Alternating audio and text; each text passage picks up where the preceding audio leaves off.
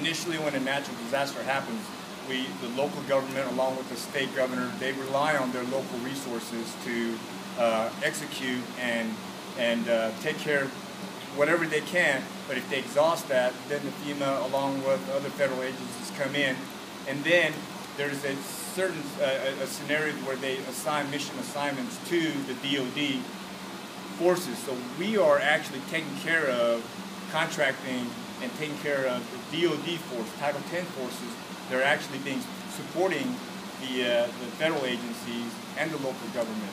So we're not here to actually uh, take the lead. We are here to assist and, and definitely augment uh, their uh, capabilities. So what we're trying to do with that in mind we're trying to allow the opportunity for our training lines to understand what it would be like to interject to integrate themselves into that process, working with federal agencies and having to execute contracts on behalf of whatever the customer they may have to support.